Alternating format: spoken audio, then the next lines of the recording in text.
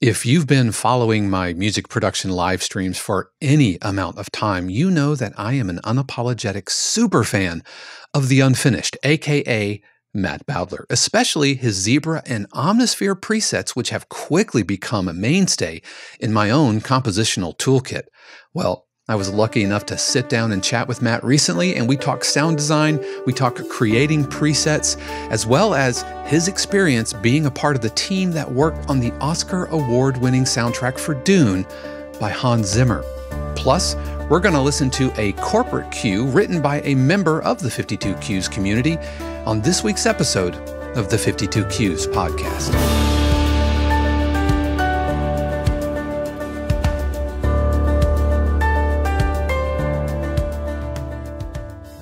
What is happening, everybody? This is Dave Kropf, and thank you so much for joining me for another episode of the 52 Cues podcast, a weekly podcast where we take a deep dive into the topics specifically pertaining to the library and production music industries. Plus, we listen to a cue written by you, a member of the 52 Cues community. Just what is the 52 Cues community? Well, we are a diverse and interactive network of composers and producers devoted to writing better production music through lifelong learning, mutual support, and encouragement to others along their journey.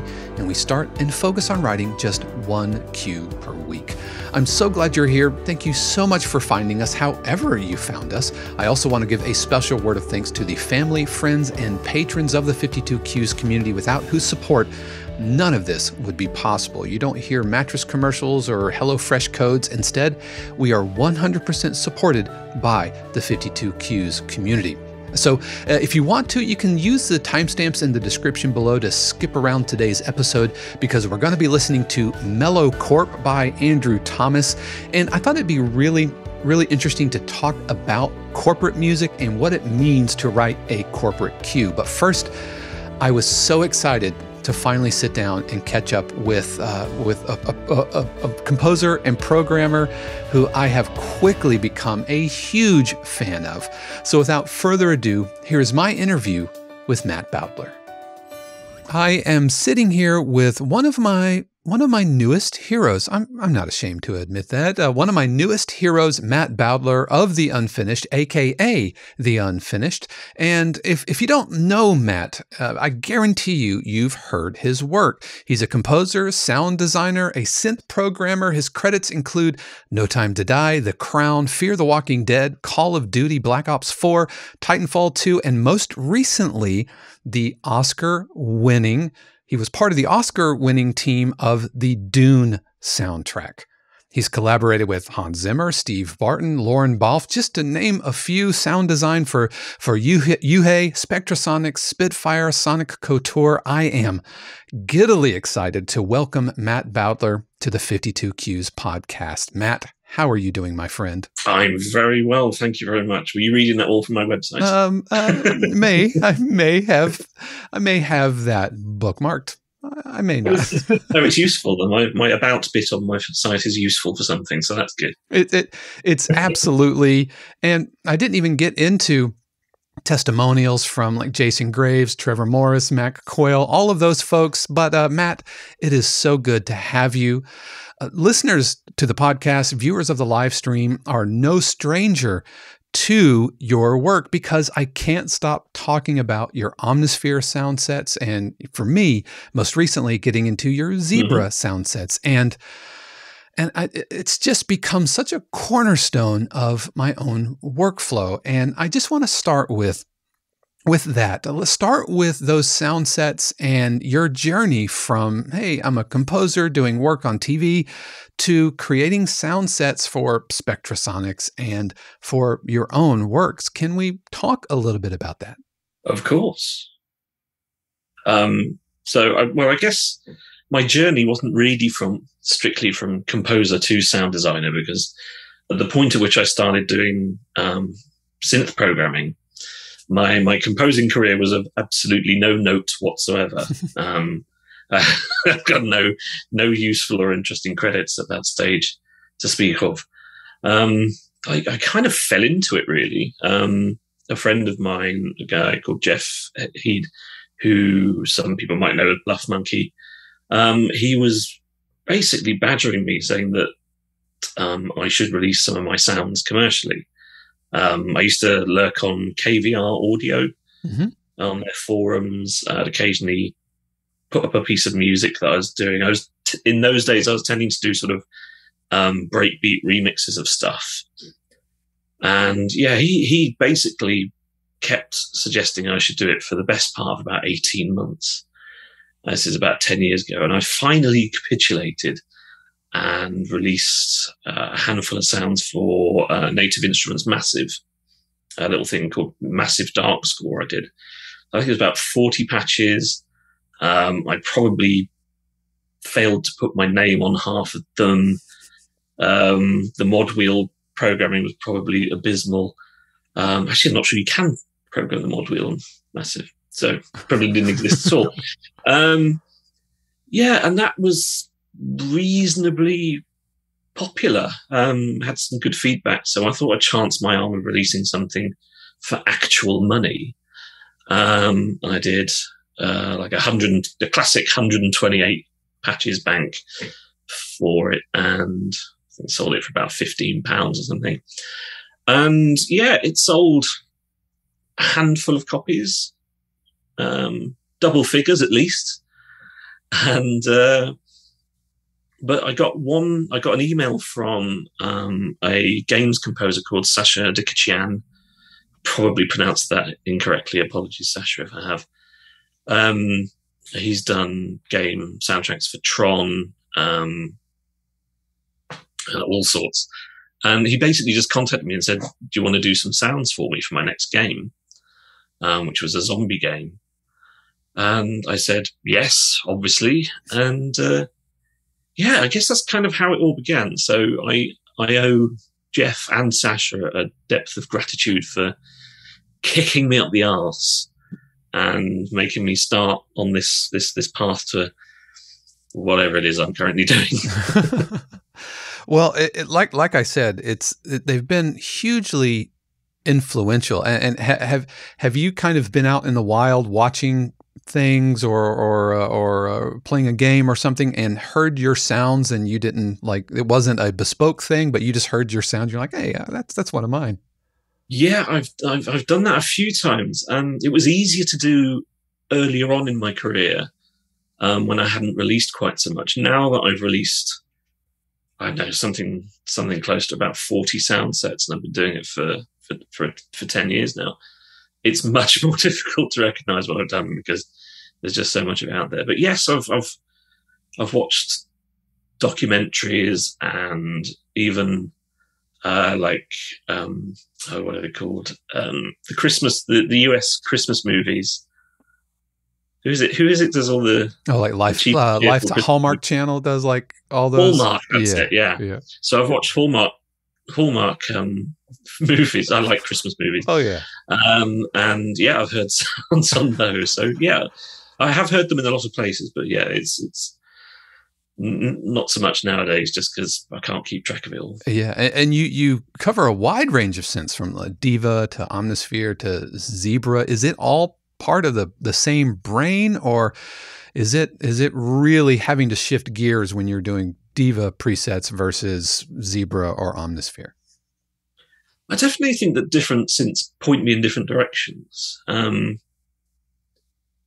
I mean, I've done probably about a dozen different synths now. Um, and obviously things like Omnisphere and Zebra, I've done loads of sound sets for. And then there's been things like FM8 and Phonic 2, which I haven't done that much for because, well, FM8, FM synthesis is a, is a nightmare. But um, yeah, I guess sort of if I run out of ideas of different directions to take things in, I'll I'll sort of back off for a bit. But um, yeah, I think I think the synths the synths lead you by the nose to a certain extent. Um, and I don't often one one thing that I've noticed I don't do is like, if I make a really nice sound in Omnisphere, I don't then sort of recreate it in another synth or and vice versa.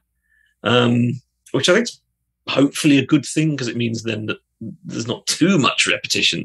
I mean, at this stage, I'm I'm, I'm almost certainly guilty of repetition, but uh, but by doing, I guess, by doing that almost by accident, then um, hopefully I'm not sort of repeating too much from one synth to the other. So I'm letting the character of each individual synth have its have its moment, I guess. Right. So when when you're in composing mode, do you know which synth you're going to go with or do you open a synth and just start kind of stepping through patches or do you just start creating something from scratch these days? Um, all of the above, I think. Um, I mean, I have I have certain synths that I rely on more heavily than others when I'm actually writing music, for sure.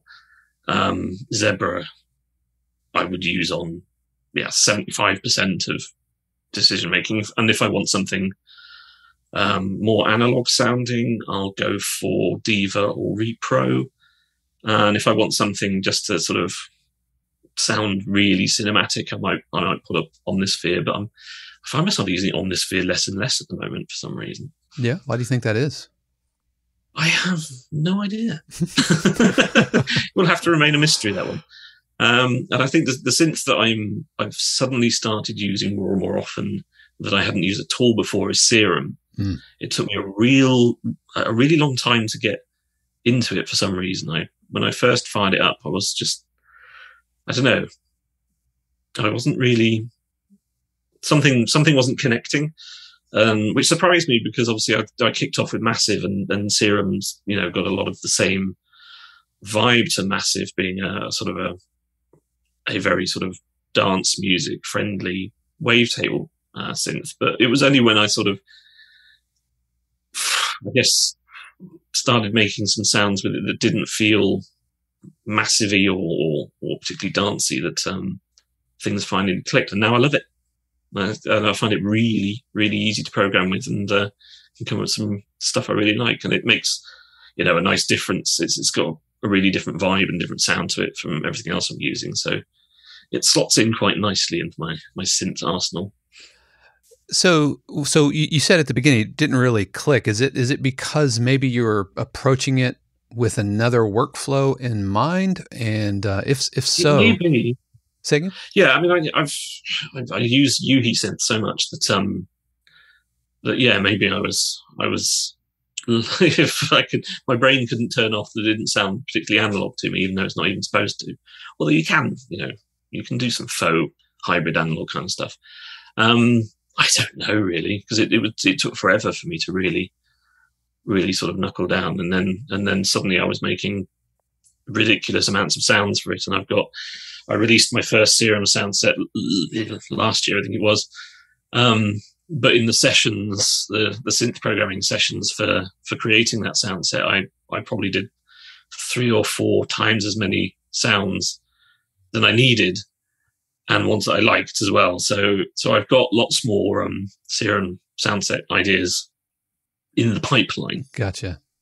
So, uh, if uh, what, what would you say to a young composer or new composer? He doesn't have to be young, but what would you say to somebody kind of new to the sound design and maybe they're intimidated? I, I admit I'm, I'm asking this very selfishly because this is me. uh, because when I open up Zebra, for example, I get completely overwhelmed. The same thing happens with Massive. There are just so many knobs, so many buttons, so many parameters that I get kind mm. of frozen in indecision and just find myself just scrolling through presets. Um, through your Omnisphere patches, I've been able to kind of work through that. But Omnisphere is a very different beast from Zebra. So, what would you say to a, a, composer new to sound design? How, how would you encourage them to to get started and maybe get over that fear? Uh, well, I think one thing that worked for me was that when I started out, I, I focused on one synth, which was massive, um, and I tried to learn as much as I could that that massive did to to try and create sounds I had in my head. Um, I think one of the most important aspects of of any kind of sound design is is listening uh, and being able to sort of retain ideas in your head that that you're trying to achieve. Uh, and then you've got to try and find that sort of journey from the init patch to to the kind of thing you're you're making. But I think I think um, yeah, focusing on one synth at a time is a is a good way to do it. Um, I wouldn't necessarily actually select massive as the first starting point either. Um, that was that was more out of the fact that I didn't have very many synths when I started out, and I had uh, an early version of uh, Native Instruments um, Komplete, uh, probably probably version four or five or something. Um, so I had the the NI synths, and I kicked off with Massive because it was the most popular one. Um, and also, I like making horrid, filthy basses at the time. who who didn't back then? well, I still do. I still love a filthy bass. Um, maybe that's why I finally got into Serum. Um, yeah, so I, I and I, I, did what I suppose most people do. I, I watched YouTube videos and I played with presets and I changed them. I reverse engineered them and I just tried to learn, you know, how everything was connected in Massive. Um, but I would, yeah, I guess, I guess I would probably suggest there are probably easier synths to do that with, um, these days. Um, so I wouldn't necessarily go for something as complex as Zebra, although I, I have i have really clicked with Zebra straight away. So for me, it wasn't it wasn't as intimidating as I know it is for some people because it is semi-modular and there's there's all sorts of different connections and parameters. Um, so probably something like like Diva or Repro would be a good start, or or even something a little more basic like um, uh, Togu Audio Lines U-NO-LX Juno recreation. That's that's a really good one to start off with because it's you know it's one it's effectively one s wasp one wasp, wasps. Where am I talking about wasps? one oscillator, and you know there aren't a lot of parameters to to mess with to begin with, and then you can move on to something else. Um, but yeah, uh, it's, it's it's listening is the key thing. It's it's hearing what's happening when you're playing with a synth and trying to sort of connect that with what you're seeing at the same time. Gotcha. Yeah, no, that, yes. that makes perfect sense. Uh, we've been talking, you know, a lot of these these synths that we've been talking about are uh, wavetable synths. One of the things that I really yeah. like about like Omnisphere and many of your patches are is granular synth. You know, bring, being able to bring in mm. an audio file and, and, Omnisphere really, really excels at that.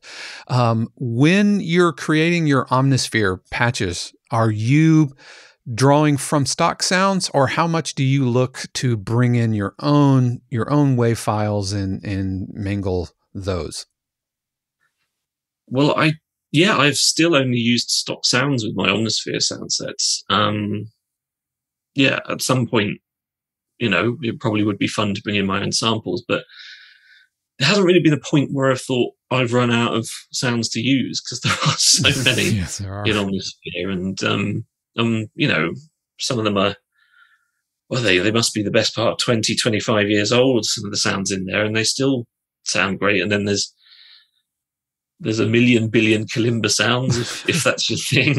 um, it's not terribly my thing, but um, but yeah, I mean, those kalimba sounds really come into their own when you, you are doing something like granular synthesis because you're making them sound as far away from a kalimba as, as you possibly can. Um, yeah, so I haven't used my own samples in in Omnisphere at all, really. Um, no, yeah, I, yeah that's that's, that's, that's yeah, that's super encouraging because uh, because I, I, had already started getting into the mindset of you know recording my own bowed cymbal scrapes or something like that and bringing them in and, and mangling them, which is really really mm. cool. Mm. But yeah. oh, you're right. There, the the the bench is so deep in Omnisphere that uh, the fact that you've done how many uh, Omnisphere libraries? I mean, multiple iterations. You know, Colossus one through four, uh, uh, all of all of those, and you're still drawing from stock sounds. I think that's encouraging. It's also that means that uh, I don't know composers. I think often will reach for something new in, instead of learning what they already have. So that's encouraging. Oh yeah, I mean that happens all the time. That's why I'm quite slow with releasing stuff for new synths because I want to spend a lot of time with them before I release a sound set because I don't want to release something that I don't think is good enough. Um, so there's been loads of fab synths that have been released in the last sort of two or three years, which I've still barely even touched because because I just I've still had other things to release. I mean, I'm on, I'm kind of almost I'm backed up hmm. with with things that I've done. Because um, my release schedule kind of slowed down over the last couple of years, um, both deliberately and not mm. deliberately.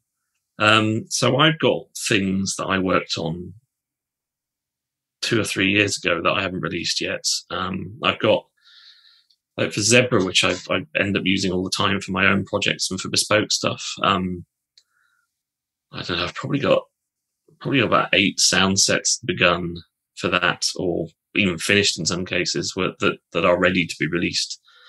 Um, so I really need to get on with that. Really. Yeah. are there uh, are there any uh, new synths? Um, you mentioned Serum, but are there any new emerging synths that uh, kind of excite you right now? Um, well, I, the the synth that I'm releasing my next sound set for is brand new. I haven't done the sound set for that before, so uh, I could mention that. Technically, it'll be a, an exclusive for your, for your podcast, if that's thrilling. Um, so that's um, newfangled audio's generate. Okay. Which which I really like because it's um, it's it's unique. I was going to say it's it's it's really unique, but you don't need to say really unique. It's either unique or it isn't. um, yeah, so that's that's my next sound set, and I've I've had a lot of fun playing with that.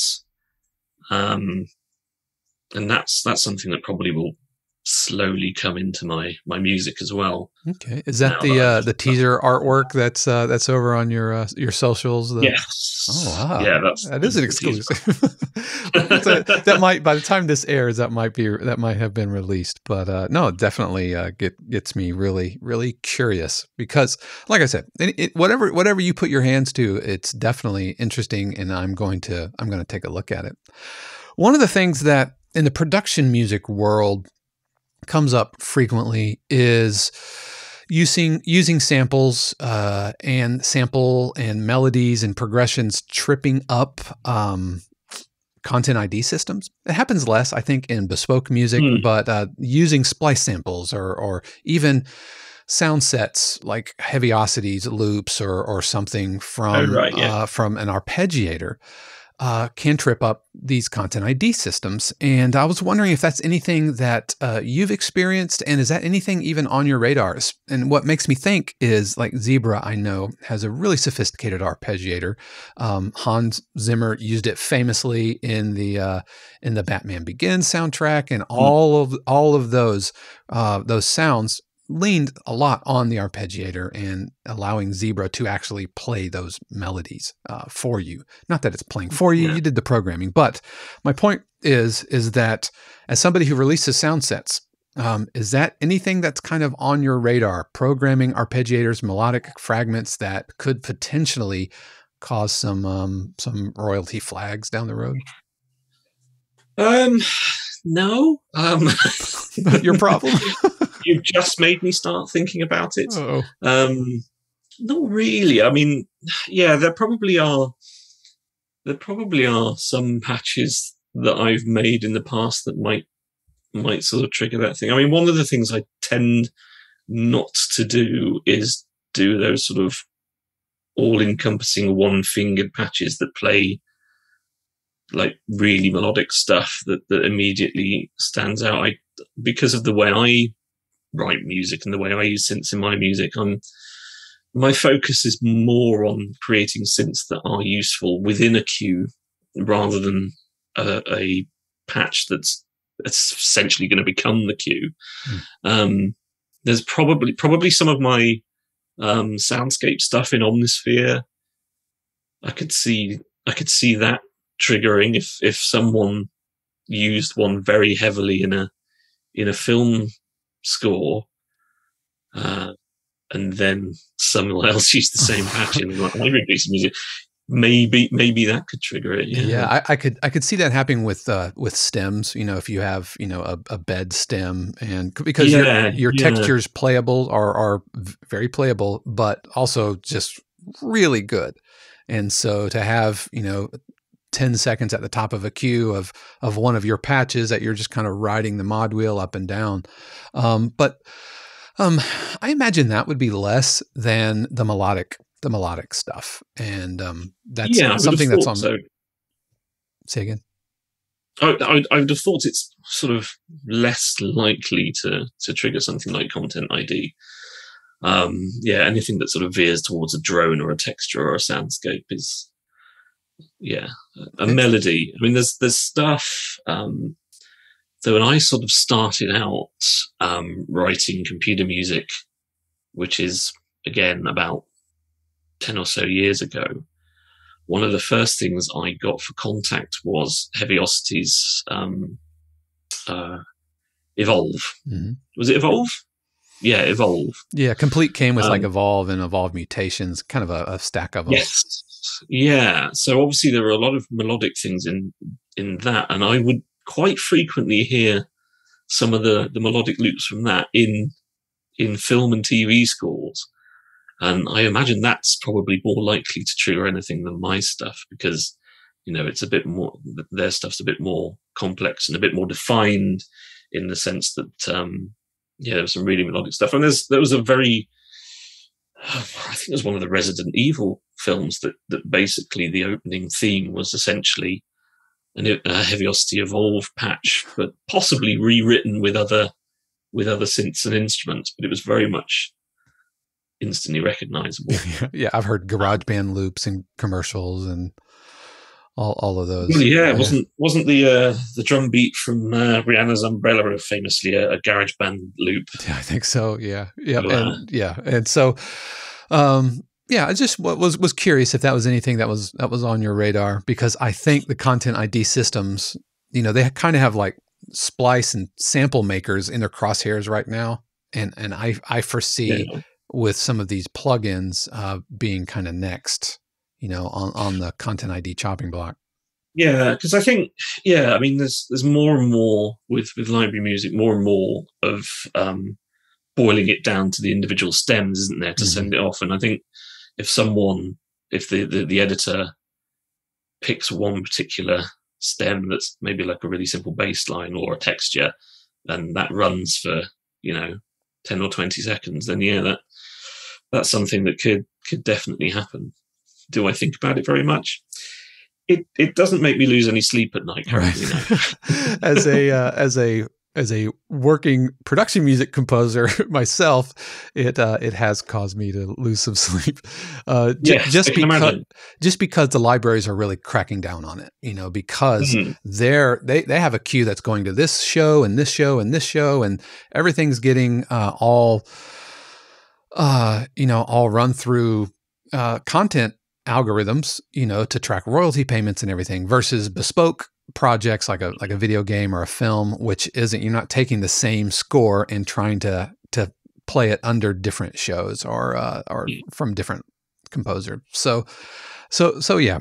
Um, and uh, I, I want to change gears just a little bit, and I want to talk about your work with with Hans Zimmer. And uh, I'd love to hear the story on how all of that came about, especially knowing his whole workflow with remote control and bleeding fingers and everything uh, in mm-hmm. LA. Uh, I would love to hear that story. And uh, again, congratulations on being part of that Dune team. That's that's that's top of the hill, right? That's that's that's the uh, the brass ring that so many film composers shoot for, and, and uh, folks who yeah. are in the in that industry. So tell me about. Well, like I said to you before, I, have peaked now, so so everything from now on is is just it's all downhill, right? Downhill, all of it. Um, how did that come about? So, I mean, obviously, I don't know.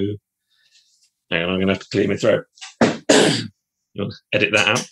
Um, yeah, so I, I don't know exactly the, the thought processes at um, at Hans's end to a certain extent. What I do know is that he contacted um, Urs at u-he to ask about um, anyone in the UK that was good at programming synths and specifically um, the Dark Zebra.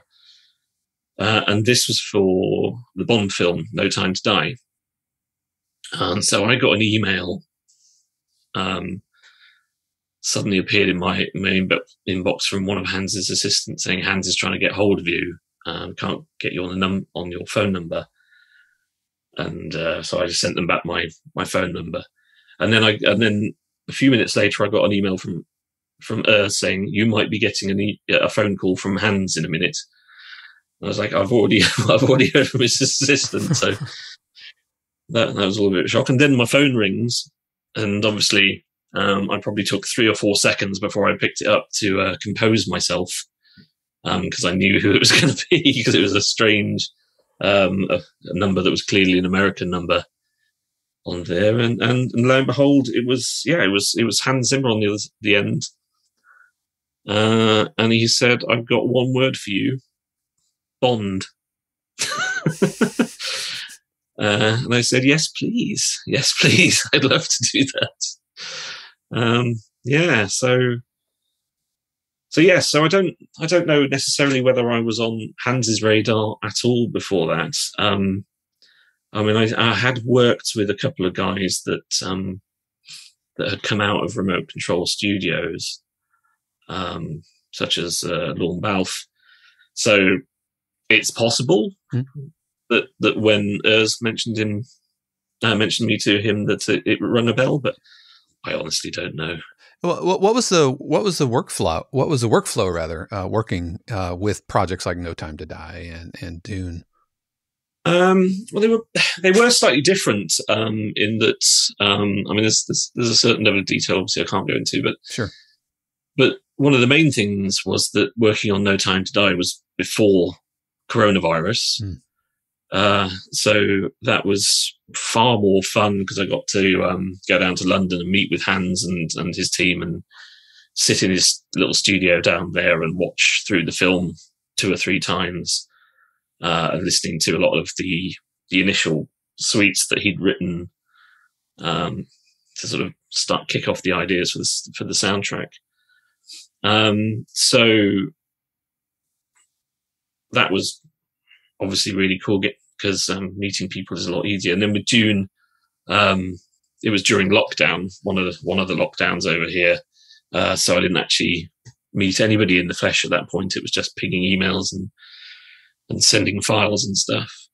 Um, but uh, yeah, it's it, it was a mixture of things really. There's there was synth programming, lots and lots of synth programming coming up with um, new and interesting sounds that that fit you know the different briefs for both films. And and then um, one of the ways that remote control works is that you get sent cues to put the sounds that you've created into in, in a creative context um, so that you're not just firing off sounds to be put in by everyone else that um, that you were technically not writing as much. It was it was very much sort of adding some extra color to cues and you know beefing up things here and there add a bit more atmosphere here in, in, other places and and then firing that off. And some of those things hopefully stuck and uh, the sounds got used in other cues. So you get new cues coming back with some of the sounds you'd sent them in. So you thought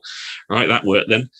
Um, so it was a, it was a long process of, of of that really cues firing backwards and forwards and making new sounds and adding stuff to cues and sending it back to them to see what they thought. Um, yes, I think that's probably yeah, as did, good an overview of it as I can yeah, as did, I can conjure. Did quickly. you hear any of your um, your sketches? You know, from the the uh, the cue process. Did you hear any of those sketches kind of make it into the into the final run? Um, I think I did here and there. I definitely heard some of my sounds peeking out. because um, obviously there were there were other guys doing synth programming and, and ambient sound design and stuff on there as well, um, and I, I, heard some of their stuff as well. So yeah, I mean there were times where I'd hear a bass sound and I'd go, "Was that one of mine?" It might have been. Um, you can never be sure because again, I made a huge amount of sounds for Hans and his team. Um, so yes, there were there were certainly some things that probably got in there um, and uh, but yeah, sometimes you can't you can't be sure yeah. that it wasn't somebody else's that was just a vaguely similar sound. Once it's been processed and it's been added to the mix with all the other instrumentation and stuff, it's it's tricky. no, tell. yeah, yeah, absolutely, yeah. Wh- whether it's Dune or whether it's you know a TLC home shopping or home home network, you know, show, your your music gets mangled by the editors and everybody else, and and gets incorporated in a way to where um, you just have to kind of release it, you know, and and and maybe you catch it, maybe you don't.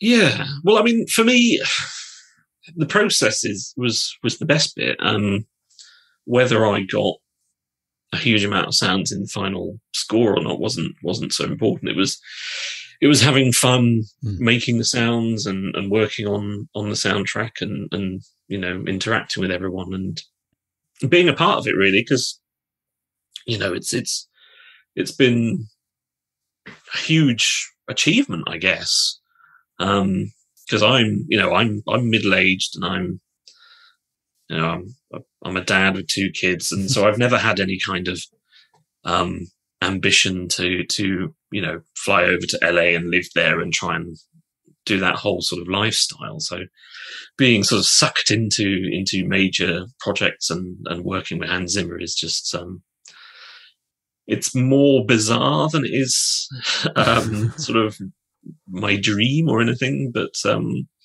obviously I'm I'm really grateful for those opportunities and you know being able to say that something I a score I worked on won an Oscar is is is mad. Yeah, that's yeah, that's that's absolutely astounding. One of the things um, that that Hans Zimmer and other composers such as like Mac Quayle kind of blurring the line between composition and sound design and uh, the internet mm. and forums are you know arguing is this sound design or is it composing and and where is the musicality of it or or whatever. But um, for you um, where where is is there a line between those those two things? And when does when does something become harmony or melody versus this is sound effect sound shaping or sculpting? Is there a line for you? Um i think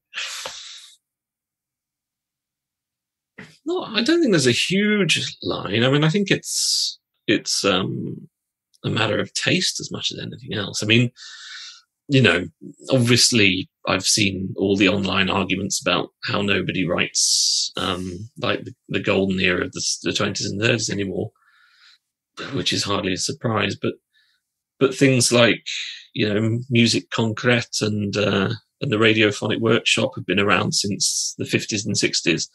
Um, so you know, we're not talking about something brand new here. Synthesizers and an analog synthesis is decades old. Yeah. Um, the fact that, you know, sweeping Lawrence of Arabia style string motifs don't dominate um, music scores these days is is just it's just development, isn't it? It's just progress. I mean, yeah. you may think it's negative progress, but it is still a progress of sorts. You know, I think I think there's an element to which I'm probably going to get hate mail now that um, a lot of people who are, you know, are firmly embedded in the world of composing now, they very much um, were influenced into becoming a composer by listening to John Williams' score, which are obviously full of full of melody and leitmotif and, and, and, and harmonic expression, all that sort of thing. And, you know, the stuff that sounds cool, sounded cool when you were a kid is the stuff that, you know, sits in your heart until you're dead and you will always champion it. So, um, so, you know, I'm, I'm, I'm a lover of early eighties synth pop and will always, you know, believe it's fantastic, even, even though, you know, you can listen to some of it and go, well, that's, that's quite twee and plastic and, and probably the production values are horrendously ropey, but you know, it'll always mean something to me and I'll always be able to listen to it. So, well, it, it's interesting that, you know, the music doesn't sound like, you know, films of the uh, 30s and 40s and 50s. Well, but movies don't look like movies of the 30s and well, 40s exactly. and 50s. so it's, yeah, it, it, would be incongruous to put a, a sweeping Lawrence of Arabia score for Tenet. That hmm. just wouldn't, it wouldn't make any sense. Or, uh, uh, Mr. Robot. That just wouldn't it wouldn't really work, I don't think. And so, um, yeah, I, th- I think I think probably to a certain extent in the past, um,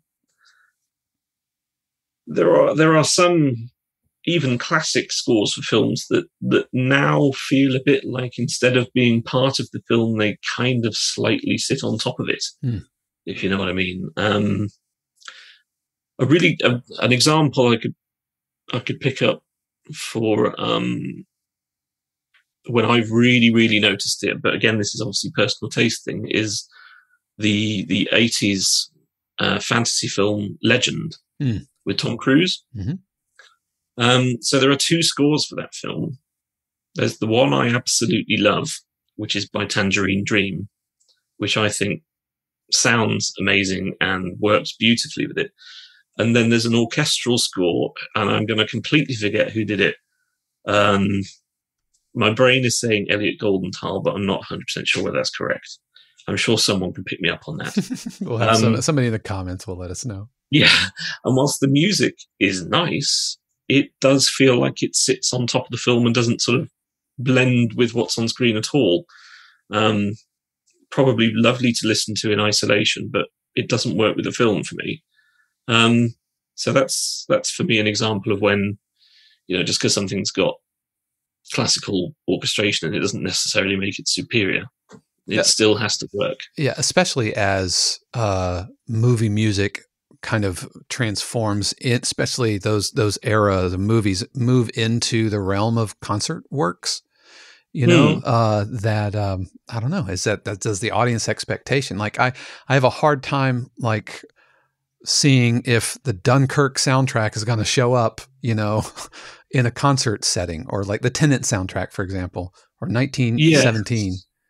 I mean, obviously, you know, Hans is out there doing his um his live tour Mhm. thing, and you know, he's he's always the kind of target for you know melody versus sound design.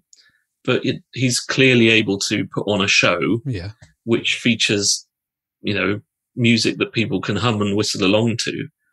Um, and you know, Inception's not the most melodic of um, of film scores, and that that makes up a, a significant part of it, I think. So yeah, I mean there are there are obviously things that you're not going to want. You're probably not going to want to listen to something like um, uh, Trent Reznor and Atticus Ross a lot in a, in a live auditorium because um, you know it's it's it's it's not something you sit down and and listen to in isolation so much. Um, but does it work with the the visuals on screen and the storytelling? Absolutely, 100%. Hundred percent. Well, uh, Matt, I, I want to thank you so much for joining me, and and I want to what what is what's next for you? What what do you have going on? Obviously, we're gonna have links to the unfinished.co.uk in the show notes below, but um, but what is next for you? What is next for me? I'm going on holiday next week. Um, Congratulations, you've definitely earned it. Uh, yeah, I mean, it's not, I'm, I'm staying in the UK. I'm just basically taking the family down to London because um, my wife's family lives down there. So we're just going to visit them. And my wife's sister's had a new baby. So Well, nice, relaxing to her. family time, Well, basically. um, but that's not what people want to know about. I'm, well, as we've mentioned earlier, I'm releasing Generate Noir at the end of this month, um, right at the end of April. Um, so you never know. This might go out before then. You might still get your exclusive if you if you're quick. I am and uh, then I've adjusting got, my release schedule. got some other stuff coming out. I'm working currently working on um, the sound set that I'll release after Generate Noir, which is um, probably June time. In fact, I've, it's actually set up on my my uh, system now, so I can play you a, a sound from it. Oh I'll yes, play you a bass line. let's hear it.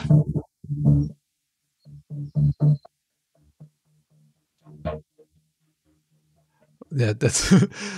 I'm not sure that's coming through Zoom, but it's Nope, a little, little, little taste of it, a little teaser enough to Yes, uh, wet the whistle. Really. But the, it was it being a bass line. There's probably absolutely no bass came through there at all. Never mind. We won't do a competition for someone guessing which synth it was because it'd be impossible. yeah. So um, yeah, just a couple of releases, uh, more releases towards the end of the year as well. Um, this is actually my tenth anniversary as the unfinished this year. I started out in 2012. Um, and I did have did have a few big plans for things I was going to do this year, but actually, I've just been kind to myself. The way I'm celebrating it is to do as little as possible. Well, self care is taking well, some time out. Oh, self care is something that we in the uh, media composing industry we we will often sacrifice at the altar of the gig, you know, and so Absolutely. I think I think personal, relational, physical, psychological health is all super important, if not more important than than the job. Obviously, there are times when you have to burn the candle on both ends, and those sprints those happen, but that should yeah. be the exception and not the rule. That's what I feel. Yeah, well, to a certain extent, I learned that slightly the hard way last year. In that, in that, um, you know, I had a pretty tough year personally last year, in that both my parents passed away. Oh, I'm sorry. and so my my um, drive to work was not really there. Um, so I only released, I think, maybe three sound sets last year, and there was a temptation to sort of throw myself back into it this year and just sort of go right. Let's let's get some work done. Um, and what I actually changed changed my mind in sort of beginning of January to doing was I thought, well, how about I have another slow year, but a year where I'm not, you know, the reason I'm having a slow year is for good reasons, mm. and not, you know, because I'm handling things like grief and depression and all that sort of business. Um, so this year is very much, as you say, about self care. Um, and I'm I'm I'm still doing synth programming. I might not have as as busy a release schedule, but um, I'm continuing to add to my horrendous backlog of unreleased sounds.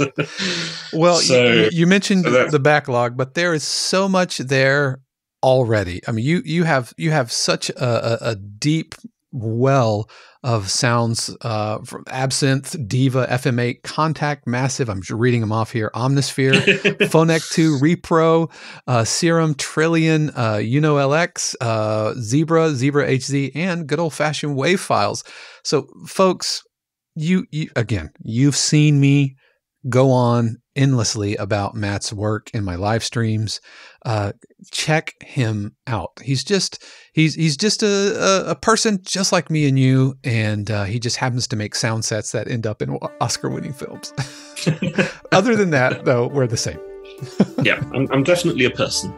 Yes, well, I'm Matt, qualified for that. thank you so much for joining me, and I wish you all the best, and I and I hope you have an amazing rest of year 2022 thank you very much. Thank you for inviting me. It was a lovely time. A huge word of thanks to Matt. Uh, stop what you're doing right now, pause this episode, and go to theunfinished.co.uk and vacuum up every sound set he has because he's he's not only an amazing synth programmer, but he's just a more amazing human being. So, Matt, thank you so very much. Let's change gears and now let's take a listen to Mellowcorp by a member of the 52 Cues community, Andrew Thomas. And I thought it'd be really interesting to talk about what it means to write a corporate cue and what does what does corporate even mean. So we're going to take a listen to it and talk about it on the other side.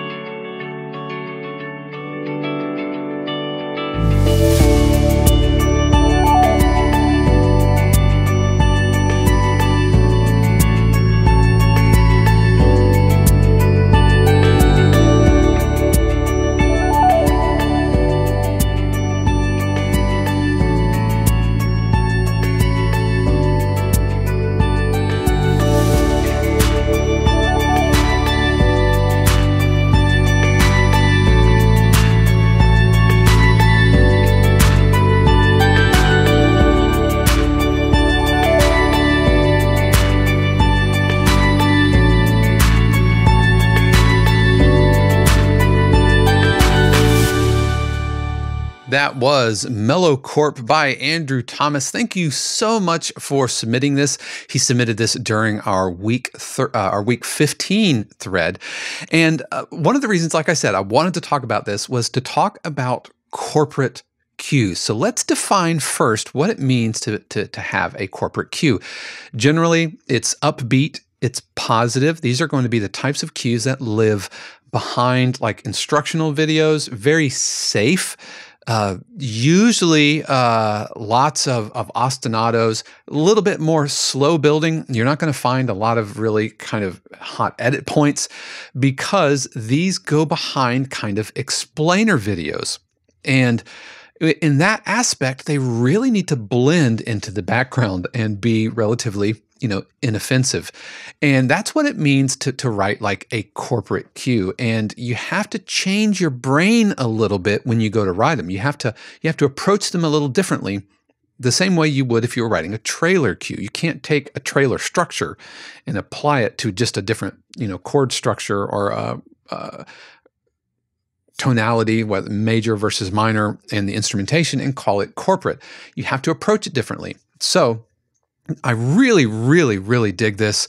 And uh, the Mellow Corp, um, the, the title is a little, it's a little dull, I think, but uh, it, it, could work. It's one word, and so that that could work. I like, you know, that, that you said mellow, uh, but uh, generally using the word corp in the title kind of puts us into using what type of cue it is in the title. So you wouldn't like if it's a hip hop cue, you wouldn't say like hip hop or or you know tension or something like that. And so writing corporate cues for some folks it feels really kind of I don't want to say like boring or dull or whatever, but uh, I know that there there are you know composers out there that don't like writing corporate and. in the term corporate, I'm putting in air quotes here, feels like an ugly word, but so many of these types of, of cues get written, and many times they don't they don't lead to a lot of back end royalties. And this is actually something that uh, that Andrew you mentioned in your post, and you said it's probably more suited for stock music than sync. And I think you are right there. I think you're right because like if uh, if if Honda is making a walk around video, or if you know Pfizer is doing a, an internal training video or something, then they're going to go to a service like Pond5, Motion Array, Audio Jungle, these types of of, of royalty free libraries because they just need something that they could throw in, pay a little license fee, and you you get a little money, and then the uh, service gets a little money, and you kind of walk away. I don't know how many of these cues are generating a ton of backend, but I know that the stock libraries use these a ton. So I think you're probably right there, but that doesn't mean you can't write it. That doesn't mean you can't necessarily pitch it, but also uh, pitch it to other libraries. Also keep in mind with these type of corporate cues like this, you're you're not necessarily dealing with super skilled editors. You're not dealing with an editor who is wrangling 90 plus different cues in one episode of a reality based TV show. Instead, they they need a cue that they can stick and put underneath and then fade out as needed and all of that. And with with all of that having been said, I think your cue is right on point, and you have some some of the uh, the the the hallmark textures of corporate cues. You know, if dramedy cues are all about the pluck plucked pizzicato strings, then corporate cues are all about some piano, some chill chords, and that delayed electric, super safe guitar. Not quite U2, not quite Coldplay, somewhere right in the middle. And I think we are we are spot on with that. Um, if anything, I feel like we probably could have gotten to the guitar a little earlier. I don't know about that kick drum at the beginning. I would just just go right into the four on the floor. I don't think you need the kick necessarily. It's my opinion.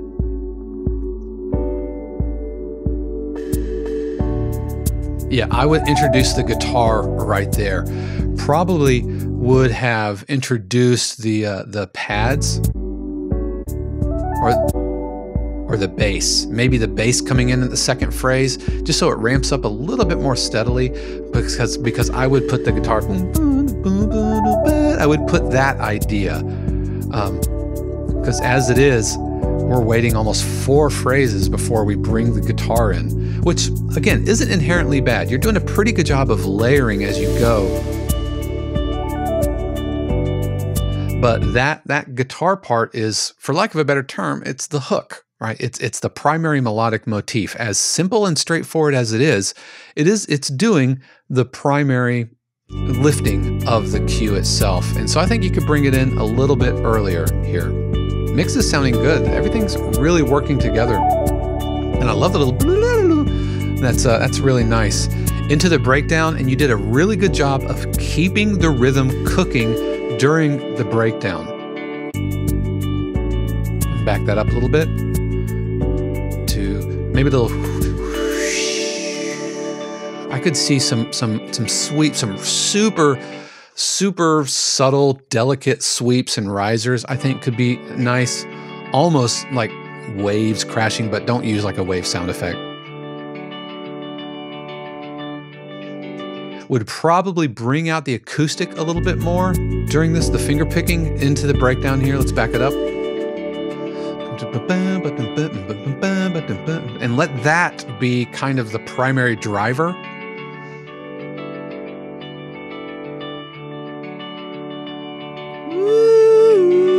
Probably could have heard one other, like, kind of floating texture, just so we have on the next phrase a little energy to build. and that sound that that boom that that gliss down in really really nice. Uh, uh, what what also really work helping onboard that uh, returning back to our a section is take your uh, guitar note and reverse it. Just one guitar note.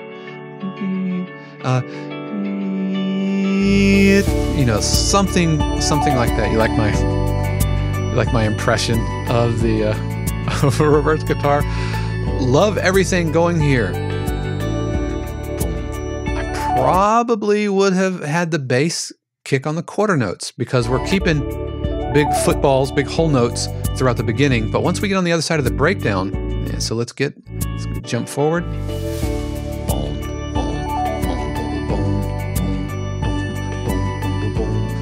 Just really super subtle. Love the bass sound, but we just want a little bit of forward motion because now we have this this.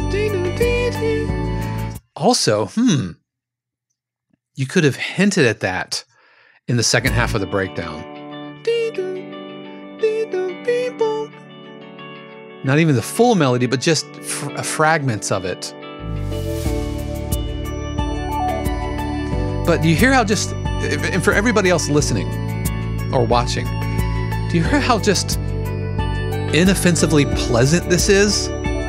that that is that the crux of writing corporate music. And again, I'm, I do not use the term corporate pejoratively. It's it's just it is what it is. Now, not a fan of those claps. The claps feel a little too a little too in, in your face. I think some snaps. I love the fact that you you went to the straight two and four here. So instead of boom, instead of that kind of reggaeton uh, pattern there. I love the fact that you went to the two and four, but I think I would have would have kept it chill. The claps don't feel feel mellow. I think some that would have been nice.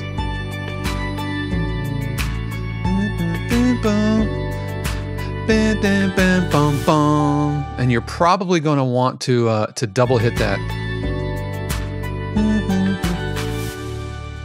Or try to get away with not hitting a downbeat. Shh, don't tell anybody.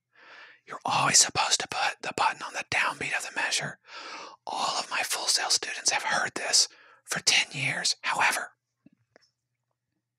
you might be able to get away with something like bam, bam, bam, bam, and then really hit and four and